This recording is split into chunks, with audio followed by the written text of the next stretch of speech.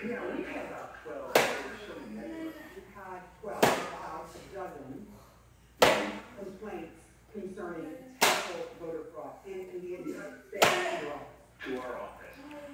We tried multiple times to talk to Sheriff Hayden to ask him to explain why he's spending taxpayer dollars looking into an election that's already been audited and